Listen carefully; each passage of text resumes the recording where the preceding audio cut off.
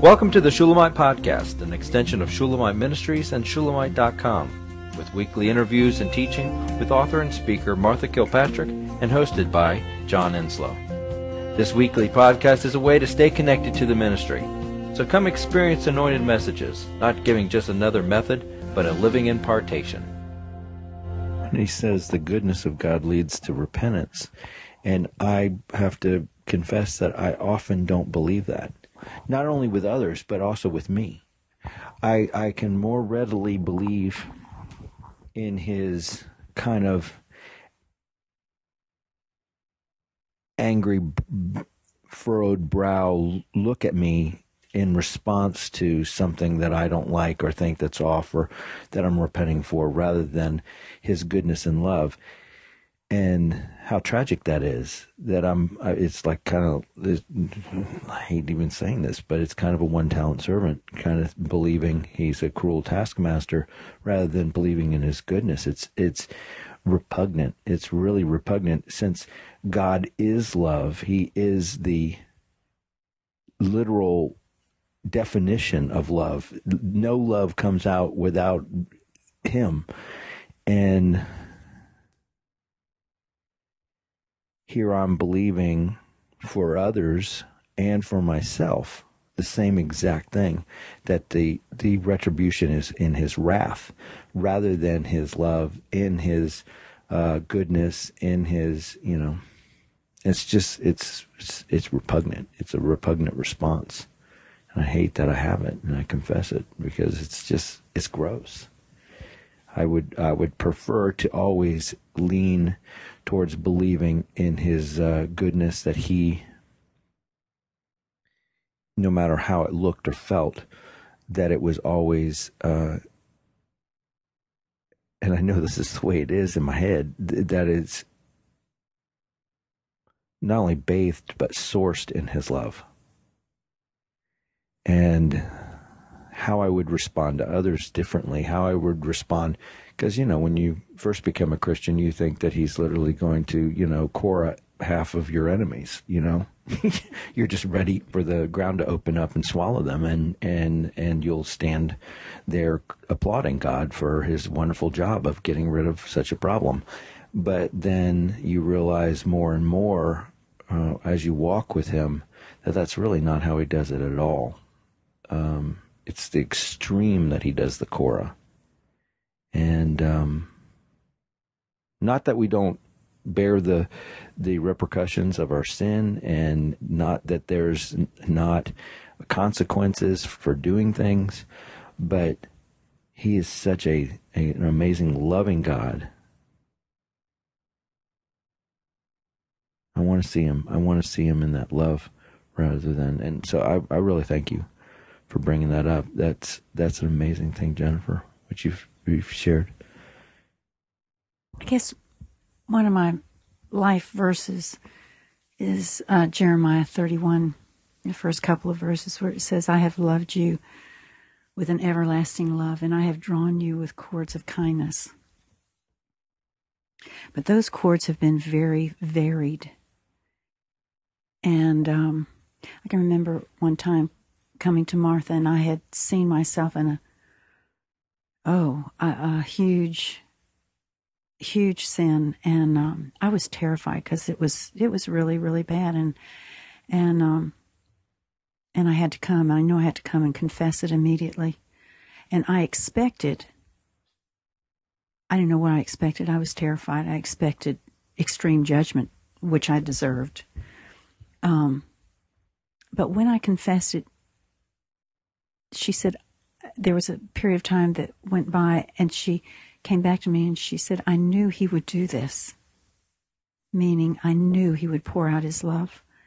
And what was, what was terrifying, a terrifying way to see me, he was not shocked by what I did.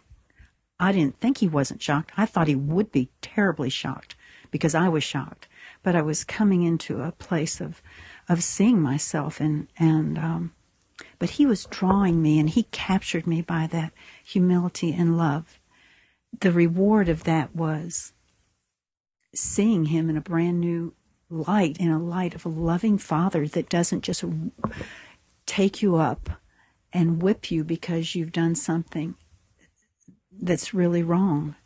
But the cords of kindness that he has drawn me with have been cords of discipline, cords of the cross. The cross probably has been, that's what the cross has been. As it has been cords of kindness, and it has been bring me to to a place where I surrender and let him have his way. And I'm in a cross right now, and there's no instant I don't want to say instant solution. The solution is surrender.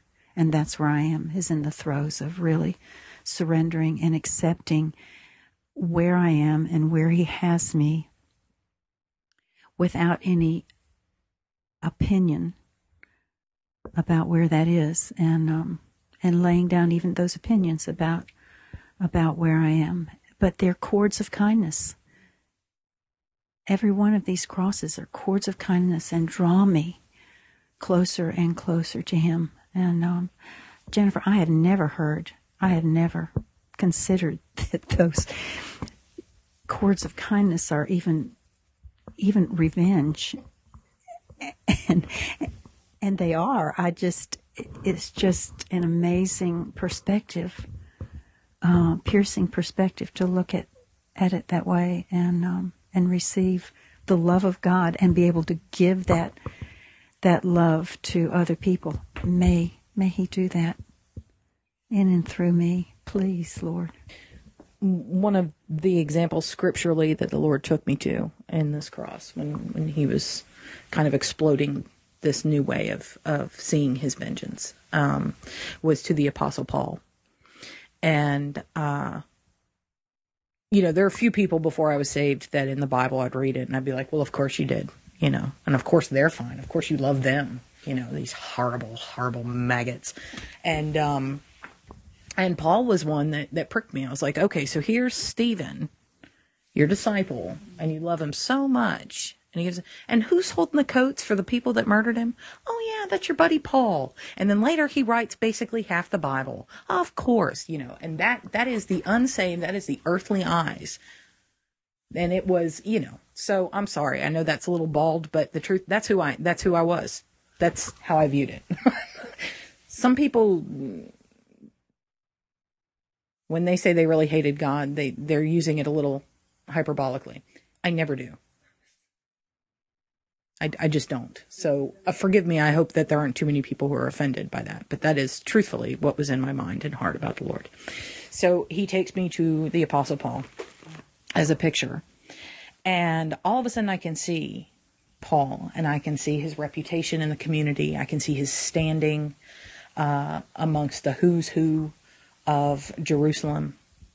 I can see his ambition for who he wants to be. And is there a more complete vengeance on Saul than, than what happened? Than his utter redemption? is there a more complete way? He not only was he wiped off the map in terms of what he'd done, every step he took forward from that point on, he had changed his name. He was now a, a, a sledgehammer aimed at the very center of his previous power. It was vengeance not just on him, it was vengeance on on those he, he rode with and the temple that he preached at. It was complete. And the Paul that was was not only annihilated in in in obvious ways in terms of who he now was, that he was now Paul the Christian, the follower of Jesus Christ, was annihilated by himself every time he got up to speak. He did not go back to that well of who he was. He refused to go back to Paul the smooth speaker, to Paul the guy who had it going on, who knew what to say and when to say it. He would not go back to that well. He purposefully said, if you don't give it to me, then I'm going to stand up here and I'm going to bumble and I'm going to stutter and I'm going to tremble and I'm probably going to look like a fool to these people because I can't speak unless you give me something to say. I mean, and I had never looked at his life before like that, that he Talk about vengeance is mine, saith the Lord, I will repay. My goodness. I'm thinking about the vengeance is that there was no greater way to see what he had really done than to be smitten by God. There's no greater way for him to be held accountable. To be accountable and to understand to the ultimate what he had done. I never saw that before, Jennifer. See until you just said that. I didn't even see that part. The truth, there was no greater vengeance on Paul himself, on his own heart, than to be so stricken and to have his eyes so opened even as he was blinded, which is kind of ironic. What always amazed me about Paul is that he didn't focus on it. He, he, he didn't forget who he was, but he left it. He died to that man. That man perished out from under him, as you're saying. And I've always wondered how, at that level of grace, but that means he really repented. And that means he really saw. Mm-hmm. And, and, and became, I, but I, I don't, see, you've just opened up something completely new. I thought that I just had the Paul doors blown off, but there's always more doors to blow off. that is amazing. Well, you blew open my mind too, Jennifer. I've seen it work in situations, but I never viewed it as a principle that why you why you're to love your enemies. There is no greater vengeance than love, because the shame would be ex- excruciating. The regret would be, uh, and and love would make it possible to repent to that degree. And, oh, it's just amazing. Thank you. We hope you've enjoyed the Shulamite podcast. For all the latest from Shulamite Ministries, please visit us at shulamite.com, where you'll find Martha's daily devotions, posts from getalongwithgod.com, and the online library of all of Martha's writings. At shulamite.com, downloading the free Shulamite app is easy, and livingchristianbooks.com is only a click away. Thank you for joining us on this journey to discover a God worth knowing.